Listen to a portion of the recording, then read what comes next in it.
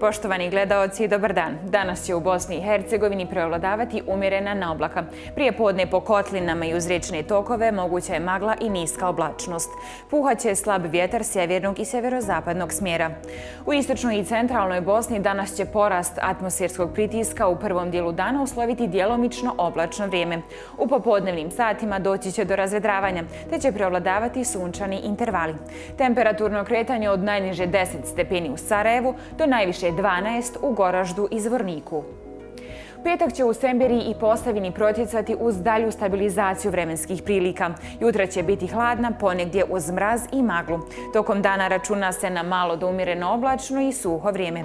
U drugom dijelu dana pristići će sunčani intervali. Prosječna temperatura zraka iznosit će 11 stepeni.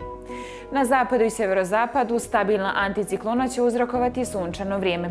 Blaga do umirena na oblaka najviše će biti prisutna u jutarnjim satima, kada će vrijednost vazduha iznositi između 1 i 3 stepena.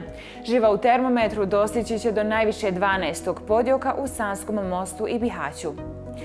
Sunčana Hercegovina i danas će biti regija sa najvišim zračnim vrijednostima. Ugodnih 15 stepeni očekuje se standardno u Mostaru, a samo stepen hladnije očekuje stanovnike Konjica i Neuma. Pretežno sunčano očekuje se još danas, a nakon toga pristižu padavine.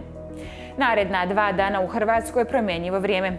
Sunčani intervali zaobići će danas rijeku u kojoj će biti nešto više padavina.